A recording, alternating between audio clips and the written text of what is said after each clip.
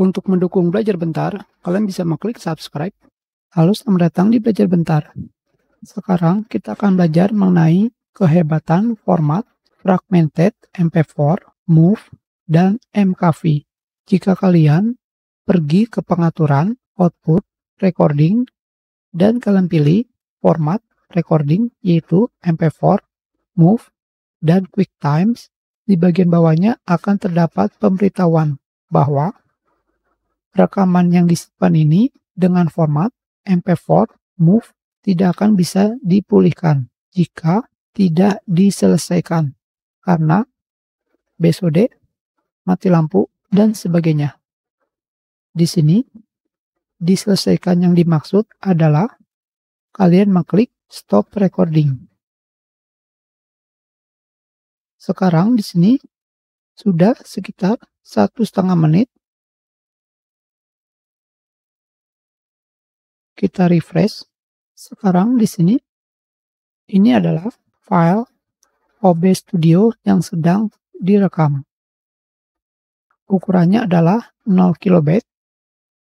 Jika kita mengkliknya,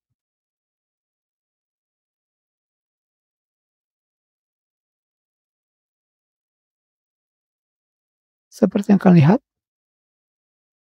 rekaman yang sedang kita putar bisa dilihat.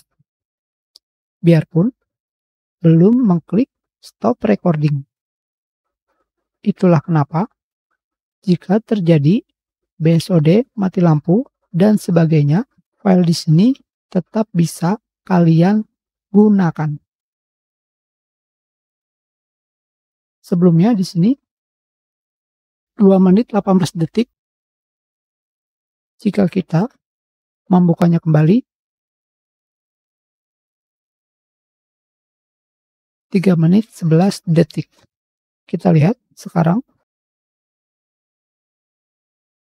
3 menit 40 detik. Sekarang kita lihat format lainnya. Sebelum itu, di sini saya menggunakan format rekaman MKV. Kita matikan, kita lihat ke pengaturan. Di sini saya menggunakan format rekaman MP4. Kita reload. Sudah hampir satu menit. Kita lihat rekamannya tidak bisa merender file. Itulah kenapa format MP4 biasa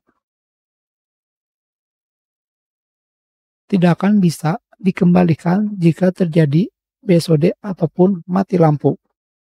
Dan tentunya karena belum menyelesaikan rekaman.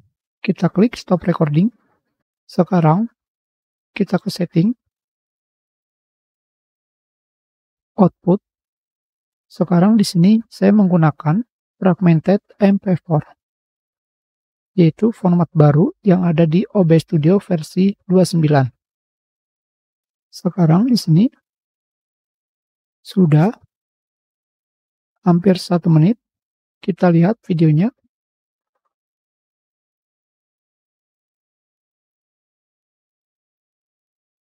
Seperti yang kalian lihat, fragmented move hasilnya sama seperti MKV.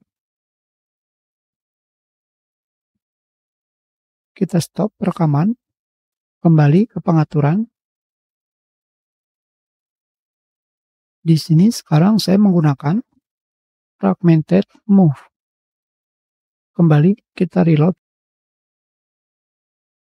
Di sini sekarang tipe filenya adalah QuickTime video file. Kita klik dua kali. Kita pilih. Seperti yang kalian lihat.